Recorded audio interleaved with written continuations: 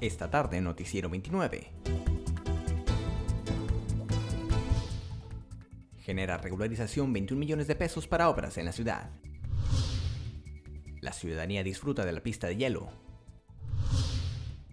Donan terreno para estacionamiento de nuevo hospital general. Además, se graduarán 500 alumnos de los talleres de oficio. Esto y más en unos momentos.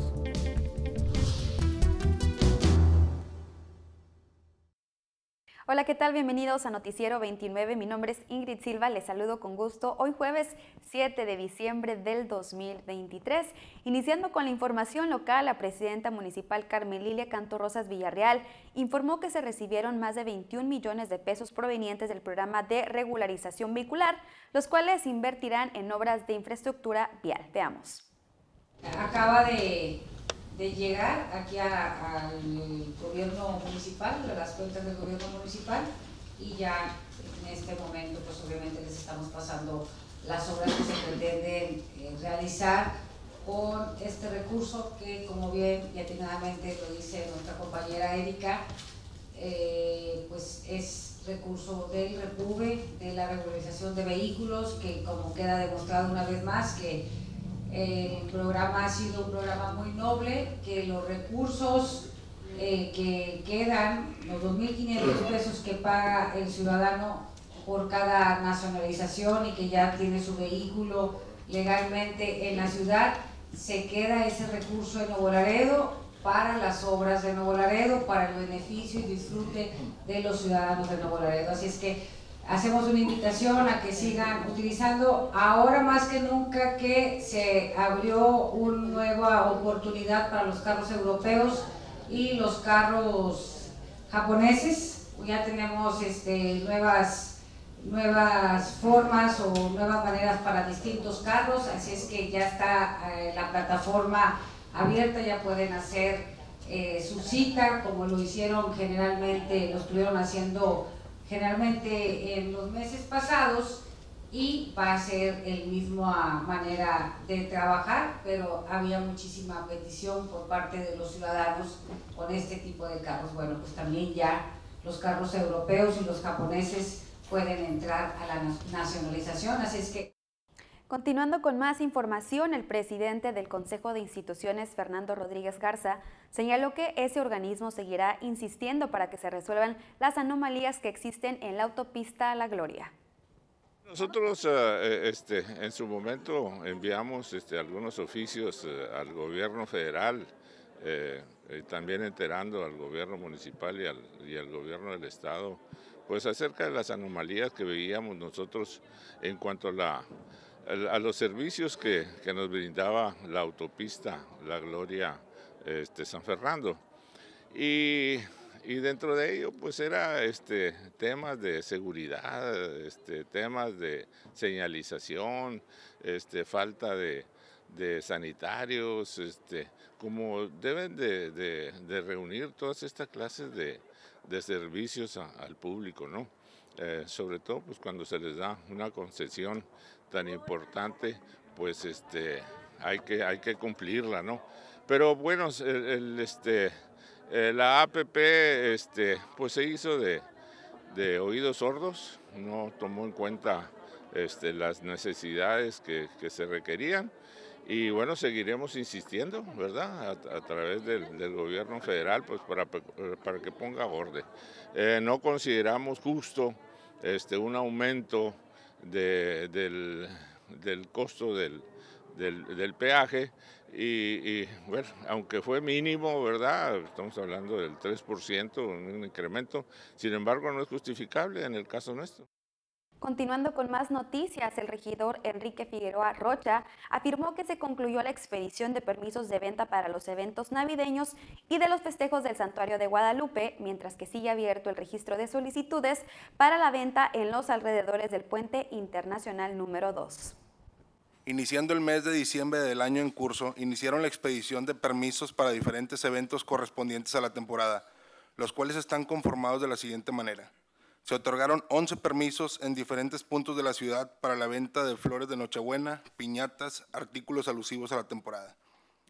Para el evento denominado Encendido del Pino, que comprende del 4 de diciembre del 2023 al 7 de enero del 2024, se otorgaron 50 permisos en la Plaza Hidalgo, estos para la venta de antojitos, pan, juguetes y artículos diversos.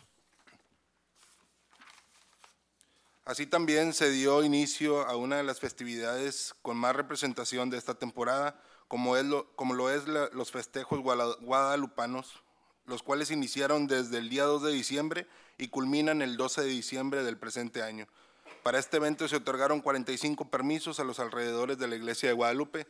Cabe mencionar que ya no hay permisos, he recibido mensajes y gente que han estado solicitando permisos, ya no hay permisos en la iglesia de Guadalupe dando un total de 61 permisos otorgados para los eventos anteriormente mencionados. Actualmente estamos expidiendo permisos para el programa Paisano, donde se otorgarán donde se han otorgado hasta el momento 80 permisos para la venta de aguas, cafés, antojitos y artículos diversos. Estos son para el área del Puente Juárez Lincoln y el área del Boulevard Colosio. Todo esto siempre encaminado a prestar un mejor servicio. Aquí todavía hay, hay lugares, pocos, quien esté interesado en vender, está la Dirección de Comercio Informal, este, se pueden presentar ahí, ahí les darán los requisitos y los costos. Por su parte, el presidente de la Cámara de Comercio Local, Juan Eliud Ciénega Jurado, afirmó que en las últimas semanas se registró un, repunte en las ventas. Tuvieron un pequeño repunte y así han seguido, ¿verdad? Eh, se está viendo bastante movimiento. No, todavía no me llegan los datos de, Cámara de Comercio de Concanaco.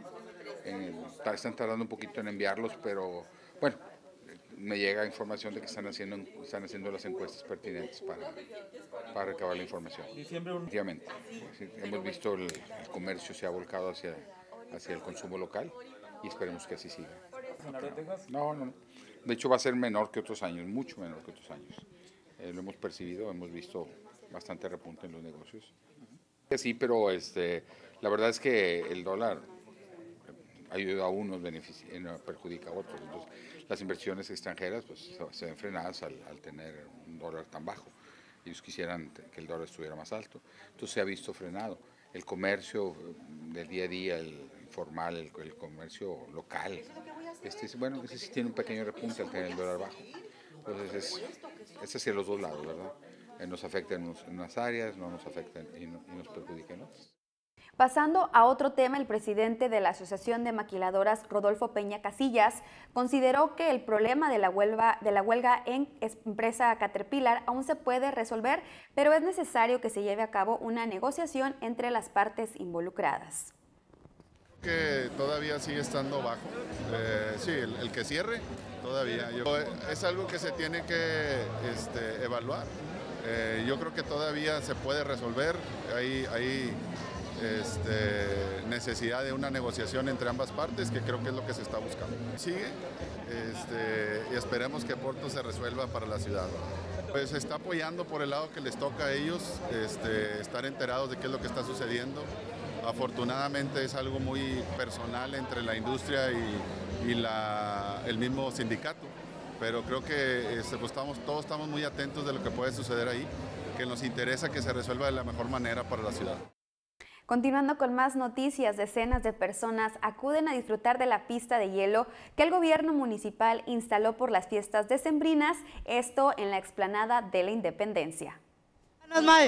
Está con madre porque salimos de la prepa y así no vamos a ningún otro lugar, ¿no? Pues nos venimos acá a jugar un rato. Y pues salimos y decimos, eh, vamos a la pista, a otro lugar, y no, pues venimos para acá. O sea, está bien porque nos queda cerca además. Y pues es entretenido. Toda la semana, pues, como salimos, venimos para acá, para distraernos un rato. Es muy entretenida, un poco difícil, pero ya después de tiempo le agarras el rollo y muy bien, la verdad. apenas vine el lunes, que se abrió, este, y me caí muchas veces, pero está muy bien, la verdad. Es gratis, no, no cobran, ¿verdad? Y está muy bien porque te diviertes un rato con tus amigos o con quien vengas, con personas que quieras venir, ¿va? Se ve que se la pasaron increíble, se la pasaron muy bien. Oye, continuando con más información, se llevó a cabo una conferencia de concientización a cargo del activista Azul Almazán como parte de las actividades por el Día Internacional contra la Violencia hacia la Mujer y el mes de activismo que promueve el Instituto Municipal de la Mujer. Realmente fue poner un granito de arena y una semilla para para dejar de normalizar y crear un poquito más de conciencia en lo que es el deporte, en lo que el concepto que tenemos y poder entender los conceptos que, que pueden llevar a un mal uso en las conductas, a una mala conducta. Y las conductas inadecuadas afectan al deportista horriblemente. Entonces tenemos que crear una conciencia integral sobre todo esto. La importancia de hacer esto es que logremos empujar el cambio, que logremos que nos atrevamos a hacer ese cambio y que confiemos en, en la cultura del respeto, pero que realmente la confiemos de corazón cambiando desde nosotros mismos y atrevernos a implementar este tipo de, de, proyectos. Pues yo creo que están dando pasos eh, grandes a diferencia de otros años, lo que yo puedo ver, sobre todo aquí ahorita, es esa disposición, esa disposición y esas ganas de cambiar y de mejorar. Azul Almazán nos acompañó desde la Ciudad de México, una mujer extraordinaria, una mujer que ha trabajado mucho en función del activismo dentro del deporte y eso nos gusta mucho porque también podemos aprender otras cosas, podemos aprender de otro tipo de violencias como es eh, la que ella nos mostró el día de hoy a través de este protocolo tan importante que todas y todos también debemos de conocer. Entonces estamos muy contentas por esta visita. Nos vamos a una primer pausa comercial, pero al, al regresar donan terreno para estacionamiento del nuevo Hospital General. Además, graduarán 500 alumnos de los talleres de oficio. Volvemos.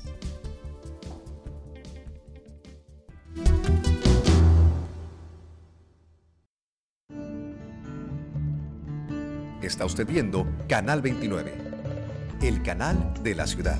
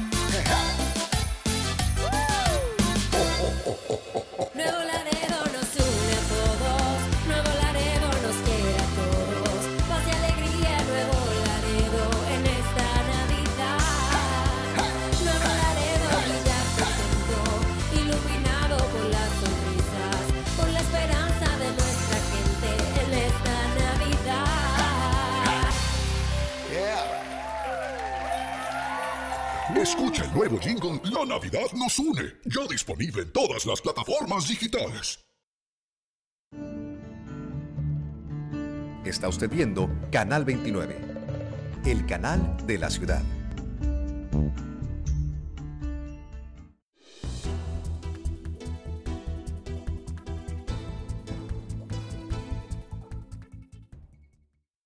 Y estamos de regreso en Noticiero 29 y continuando con la información, veamos un resumen de lo que acontece a nivel nacional.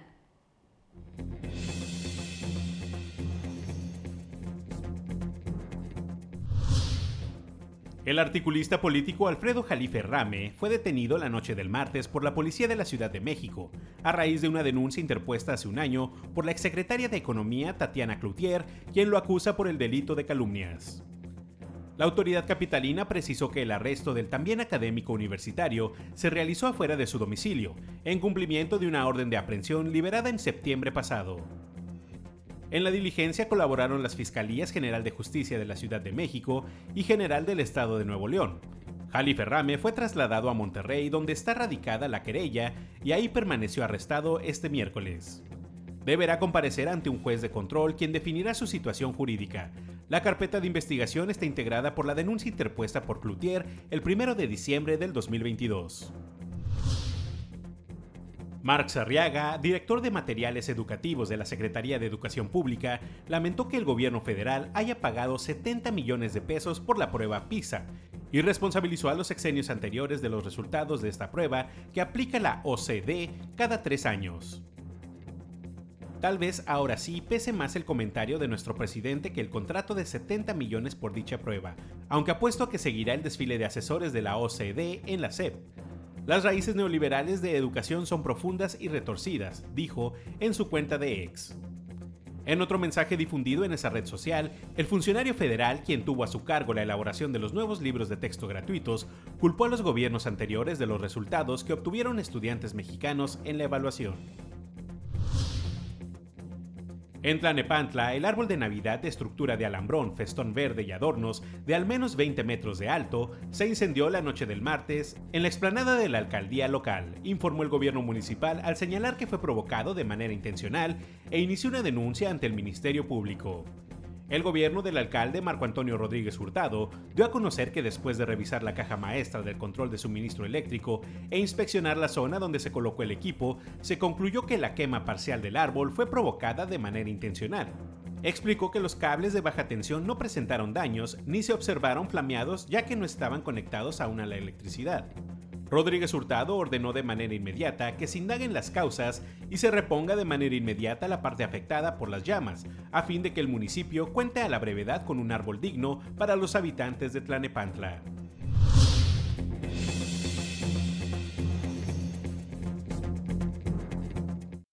Y quedaron las nacionales de hoy y continuando con más noticias, veamos un resumen de lo que sucede a nivel internacional.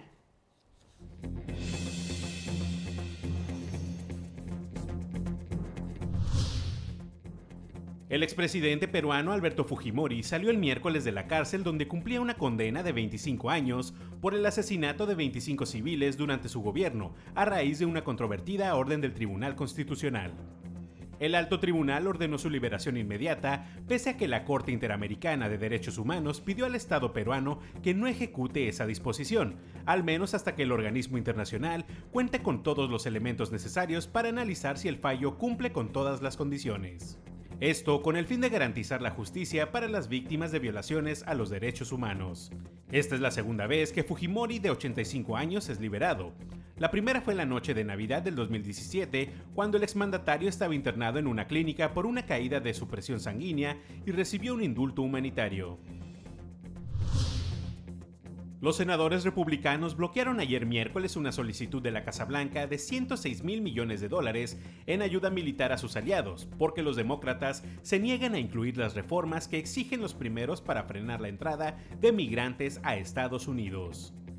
El paquete incluiría al menos 60 mil millones de dólares para ayudar a Ucrania a mantener la presión sobre Rusia y unos 10 mil millones de dólares para Israel, además de alguna ayuda para Taiwán, el líder demócrata en el Senado se había comprometido a celebrar una votación para añadir las medidas de seguridad fronteriza exigidas por los republicanos, pero los 49 miembros de la minoría republicana votaron en masa en contra de seguir adelante, señalando la falta de acción sobre los 10.000 inmigrantes que cruzan a diario desde México. El imán de una mezquita de Madrid que ejercía de profesor de árabe fue detenido por reclutar presuntamente a jóvenes para la organización yihadista Estado Islámico. Según un informe de la Guardia Civil, se trata de un hombre de 44 años que aprovechaba su posición como docente para radicalizar a los menores a los que daba clase. El cuerpo policial explicó, el detenido defendía ante los menores una visión violenta de la religión y enalzaba la figura del terrorista suicida como una figura legítima en la lucha contra los judíos, cristianos y apóstatas. Se inició la investigación desde el año pasado. Las actividades del profesor no pasaron desapercibidas en la comunidad donde se realizaban y generaron un conflicto que hizo que el sospechoso las empezara a llevar a cabo con mayor cautela hasta que fue detenido el 29 de noviembre.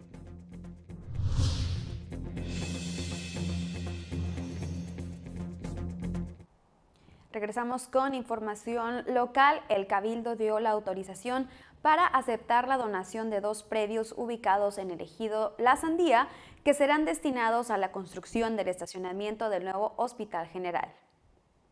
Con las siguientes medidas y colindancias. Al suroeste 98.40 metros con polígono 54 vialidad resultante de la subdivisión y en línea curva 20.10 metros con polígono 51 calle Margarita Sáenz García de Vela. Al suroeste 92.35 metros con polígono 27 Hospital General, resultante de la subdivisión. A noroeste, 69.33 metros con polígono 29, resultante de la subdivisión, con una superficie total de 3.703.82 metros cuadrados.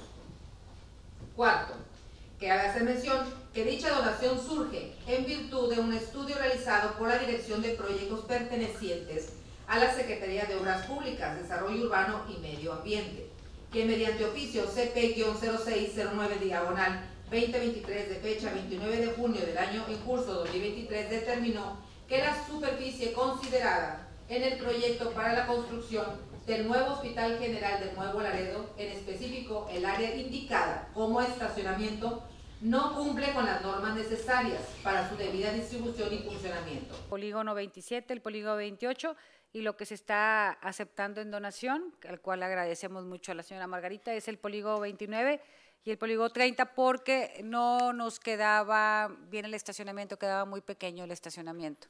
Entonces es para, para, para eh, ampliar. Lo que platicamos con el señor gobernador es que ya están ahorita trabajando en el hospital de Madero, que se había quedado por mucho tiempo olvidado, ya lo están construyendo también el hospital de Matamoros, que ya lo están, eh, le siguieron en la construcción porque se había quedado olvidada la construcción y ahora serán temas del IMSS bienestar, o sea, están en ese tema. Eh, hay una, una idea de que quizás para que va, el gobierno federal le va a dar el dinero al gobierno del estado para que el gobierno del estado arranque con el tema de los hospitales. Y en temas de salud, el jefe de la Jurisdicción Sanitaria número 5, Malio Fabio Benavides González, afirmó que se cuenta con vacunas suficientes para inmunizar contra la influenza a la, a la población. Es que volver a hacer el llamado a la ciudadanía de Nuevo Laredo que acudan los grupos etarios, tanto de niños menores de 5 años como adultos mayores, a la campaña de vacunación contra la influenza COVID y todas las vacunas que les hagan falta en el caso de los niños y de los adultos mayores. También tenemos el neumococo y tenemos en existencia todas las vacunas que les hagan falta. Hago un llamado a la ciudadanía para que acudan a su centro de salud. Si no desconocen cuál es su centro de salud, pueden acudir con nosotros a la jurisdicción sanitaria a la colonia La Fe y con todo gusto se les aplicará su vacuna y si no tienen su cartilla de vacunación, ahí mismo se la daremos. Vamos, estamos trabajando, tenemos buenos números, yo creo que al, final de, la, semana podemos decir el lunes, ya podemos tener los números ya completos y ver en qué, en qué situación de rango vamos. De hecho, vamos a tener una reunión en Ciudad Reynosa con nuestro secretario de Salud para verificar cómo vamos en todos los programas de salud, tanto los que son de temporada invernal como los que son obviamente de todos los días en la Secretaría de Salud. En más noticias, el sacerdote Fermín Alfonso Cavazos Garza invitó a la población a asistir el día 5 de cada mes a la misa de unción de los enfermos que se lleva a cabo en la parroquia San Antonio María Claret. Eh, San Peregrino Laziosi es un santo italiano perteneciente a la Orden de los Frailes Siervos de María, eh, que por el Papa ha sido declarado hace algunos siglos atrás como patrono de los enfermos de cáncer. Es un santo que ha padecido en carne propia esta enfermedad y que ha sido sanado por el Señor, por eso se le ha concedido este patronazgo. Aunque es poco conocido en el norte de México, ya en el interior del país tiene años promoviéndose esta, esta devoción. Su servidor hace 15, 16 años atrás este, fue parte de esta, de, esta promoción para, para, para, dar a conocer la vida de San Peregrino. Eh, también andan por ahí algunas imágenes de él, unas réplicas pequeñas en los hogares de aquellos enfermos que se encuentran padeciendo esta enfermedad, esta terrible enfermedad que, se, que es ahorita de las principales de las cuales aquejan al mundo. Continuando con más noticias, la próxima semana se llevará a cabo la graduación de 500 alumnos de los talleres de oficio que brinda el ayuntamiento a través de la Secretaría de Bienestar Social. Queremos invitarlos a la clausura de los talleres de oficio, que va a ser este próximo 14 de diciembre, jueves, va a ser en las canchas deportivas Nueva Era. Son 500 alumnos que se gradúan de los siguientes talleres, gastronomía, repostería, uñas, maquillaje peinado, barber, limpieza de mini splits, inglés y corte. Va a haber un recorrido por todos los stands, ellos van a exponer todo su trabajo que, que hicieron a lo largo de estos seis meses. Entonces va a haber corte de cabello, va a haber barber, va a haber comida, entonces pueden darse la vuelta para visitar y que estén muy pendientes en, en, los primeros días de enero en la página de bienestar para la convocatoria y se inscriban para los siguientes eh, talleres que va a haber el próximo año. Por su parte, la maestra y directora en proceso de jubilación de la Escuela Primaria Joaquín Fernández de Lizardi expresó su satisfacción por la evolución que registra el plantel. 10, casi 42 años de esta primaria en la que el Señor me permitió, me permitió tener una experiencia hermosa. El valor del maestro, el valor de la escuela, dentro de cualquier entorno, dentro de cualquier comunidad. Somos agentes de cambio y es un lugar dentro de la sociedad que no podemos perder, que tenemos que aquilatar y trabajar muy bonito en mano con la sociedad para transformarla. Así es, llegar a una escuela sin mobiliario, llegar a una escuela sin, sin pavimento y, y ver sin luz, este, nada más con agua, sin teléfono, y ver cómo el director de aquel entonces, el profesor Santiago Cisneros Góngora, iniciaba gestiones y toda la comunidad apoyaba y el beneficio no solo era para la escuela, era para toda la comunidad. Verla ahora transformada, gracias a gestiones de la escuela, a gobiernos de cambio, pero verla transformada. Y es para mí una satisfacción como maestra. Nos vamos a una segunda pausa comercial, pero regresamos con el reporte del clima. No le cambie.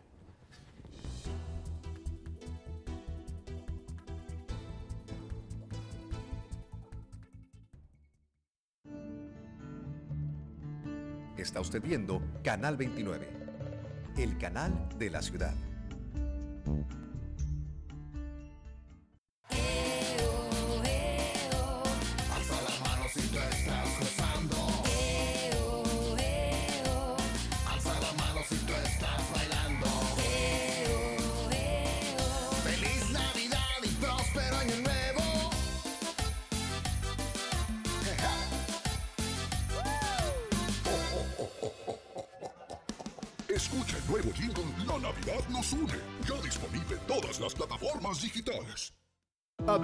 El 100% de descuento en recargos durante todo el mes de diciembre y pon tu predial al corriente. Acude a Dirección de Ingresos, Comapa, Módulo Reservas Territoriales, Oficina de Planeación, Tanque Elevado Matamoros, Edificio de Seguridad Pública y Módulo Paseo Reforma. Recuerda, 100% de descuento en recargos durante todo el mes de diciembre. Cuando pagas tu predial se nota. Nuevo Laredo nos une.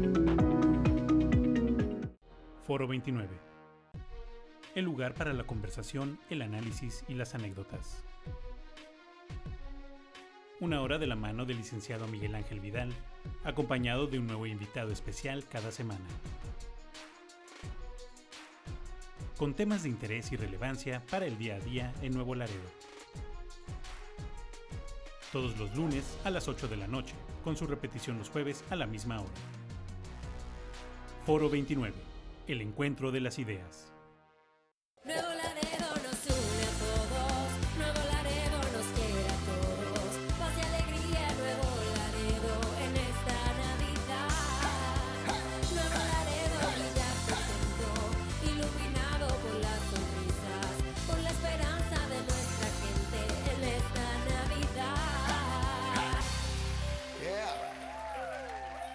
Escucha el nuevo jingle La Navidad nos une, ya disponible en todas las plataformas digitales.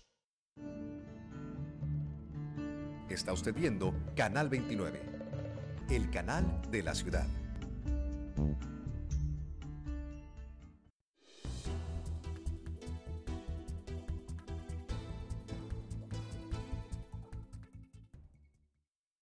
Gracias por seguir en sintonía de Noticiero 29 y por último como información pasamos al reporte del clima para este ya casi fin de semana. Hoy jueves parcialmente nublado 24 grados la máxima 17 la mínima 1% de probabilidad de lluvia. Mañana viernes parcialmente nublado de igual forma 28 grados la máxima 17 grados la mínima con 9% de probabilidad de lluvia. Y para el sábado parcialmente nublado 28 grados la máxima igual 9 la mínima con 12% de probabilidad de lluvia. Y antes de despedirme pasamos a la frase de hoy, jueves 7 de diciembre. Las circunstancias no hacen un hombre, lo revelan. Frase de James Allen. Le recuerdo que puede encontrar más información a través de Canal 29 en punto de las 7 de la tarde. Yo me despido, nos vemos mañana en punto de la 1.30.